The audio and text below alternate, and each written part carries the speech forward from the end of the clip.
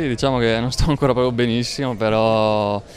eh, questa settimana ho iniziato a usare la mano senza tutore durante il giorno, però ovviamente per la partita dovrò usarlo per un altro mesetto, quindi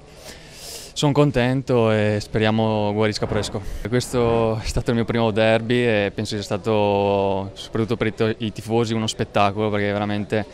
noi in campo ci siamo divertiti, abbiamo creato veramente tante occasioni da gol, oltre, senza contare i quattro pali, le occasioni mie di Correa, quindi penso che la squadra abbia creato molto e ha fatto veramente, veramente bene, e, verso molti tratti della partita ha dominato, quindi